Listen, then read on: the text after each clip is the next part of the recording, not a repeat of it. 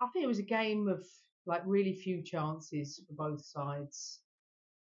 I think we had our big chance right by by the end, 90 minute period. That's when I thought that was our moment to win the game. We didn't take our chance. Um, they took their chance. Each team had one big chance the game. It was, I didn't think there was much in it. In fact, I thought it was quite a poor game, to be honest, both sides. Um, and as always, listen, when you're on the losing side of it, you always feel disappointment. But I can't ask any more of the players. I think they gave everything they, you know, they could give. And there seemed to be a bit of aggro between you and Reynolds after the game. I mean, you want to really see me when I've got a bit of aggro, but like, um, listen, I think there's a way to conduct yourself on the touchline. I really do, and I, I think that it's absolutely essential we role model in the right way. But I'm not down for male aggression on the touchline. I'm not, and fronting up with players for me that's unacceptable. And yeah, I was disappointed, and I told Jonas that. Um, I don't think it's okay to behave like that. Um, he got a yellow card, and in fact, he probably should have been sent off. I'm all for competing to win. I've never been booked in 12 years, you know, my time here. I totally accept he's a winner and he wants to win, but his behaviour on the touchline wasn't acceptable. Kit, um, hi, Emma. Congratulations. Just to go on with that, um, we thought that the incident that West Ham got this was overthrowing right at the end. In the narrow, was that like, an example? Yeah, I think so. Yeah, I think there was a couple, it was sort of Anne trying to get the ball, but I think the way he fronted up to her and I didn't think was acceptable. Was there, was there other kind of Listen, I don't think we should blow it up. I know we all want to do that. It was an incident. I'm I'm sure when he's calm, we can have a conversation about it. I was clear with him. I did not think it was acceptable. It's not the first time he's been told about his behaviour on the touchline, and I don't think we need to make a massive story out of it. The problem is you're going to. Um, I want to just say congratulations to Arsenal. They've won, and I don't want the talking point to be about that.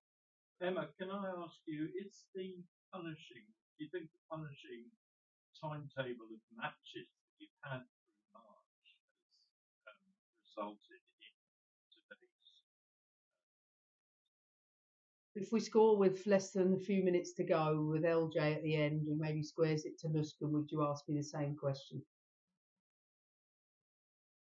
Well, probably not, no. No, it's a, it's a game of few chances, and they took theirs when you know we could have had two or three opportunities to clear the ball in the last part. It was a game where I think a single goal was going to settle it. Um, of course, a, a punishing schedule doesn't help, but I thought we grew in the game. I thought we were better in the second half.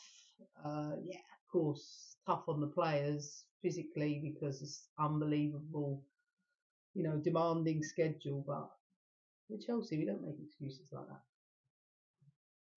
I just have one more obviously it's the whole like how sort of put demand towards it. Yeah. And it's like from your perspective as a coach, how do you handle this like, unique I don't know what's happened, so I can't comment on it. But player welfare is always like the most important thing, and I hope she's okay because, like I said, I don't know what happened. I just know I shouted for my doctor to go and help, and I really hope she's okay. about the decision to play Lauren James in the left and centre of the right. Felt like at points in the first half maybe Justin Steele got a bit more overrun because Brighton normally tucked in in that space a little bit. Something you felt. Um, no, I didn't. Um, but I felt that going forward, um, we didn't use the ball well enough in the first half. That was our biggest problem. They locked us off to play down the right, didn't switch it enough. Um, I thought we didn't take care of the ball in the right ways, and you can always, you know, say could have, should have done this. We knew that at half time, and thought we had better control of the play, and it was more us in control, them counter attacking in the second half, and that's football matches. Sometimes you have it right in the first, sometimes in the second. Um, but um, I don't.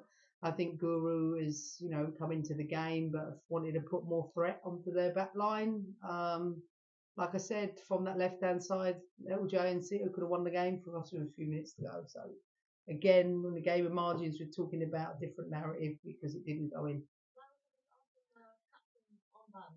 Yeah. Yeah, it was. I I would have happy to give them both one, but the rules don't permit that, and I said they'll split it 50-50. I want to keep developing them as leaders. It's good for them. I was just going to ask, how much will this drive you on in the three other competitions? You can see the end the players didn't want to these medals. They went to winners' medals. look, we got so much to play for. This isn't our only competition. This is one of four that we're competing for.